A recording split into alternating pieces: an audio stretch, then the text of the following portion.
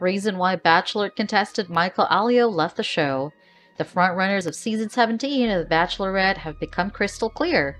In episode 6's promo, we saw Kate Thurston announcing that she had fallen for Greg Grippo. However, the Bachelorette fans were hoping that Michael Allio would be the one to receive the final rose from Kate.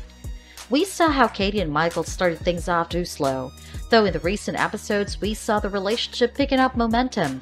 After being tackled by Justin Glaze, Michael proved that he was able to take hit for Katie. Justin Glaze is also a fellow contestant was also in line fighting for Katie's heart.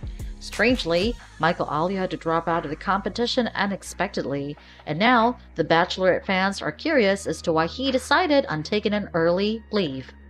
Has Michael Allio left the Bachelorette? There were confirmed rumors stating that Michael Allio would be forfeiting the show. The reason behind that was so that he could return home to stay with his four year old son.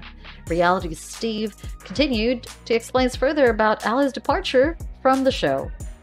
Before there was news that Andrew Spencer would be making it to hometowns and living in fourth place. However, that appeared to be an error. Reality Steve then found out that Michael's family would not be meeting Katie and assumed that he might have been kicked off before hometowns. The truth of the reality is that Andrew is actually eliminated in fifth place. Michael, on the other hand, eliminates himself before hometown dates. All this means he would be placed fourth in the competition. Towards the start of a certain episode, Michael and his son were on a video call together. We then heard his son say, Maybe daddy left because he doesn't want to see me. It was then that Michael knew he wasn't able to stay and finish the competition. Who would though? After hearing such heartbreaking words from your child. After the call with his son ended, Michael had to tell Katie that he had to leave.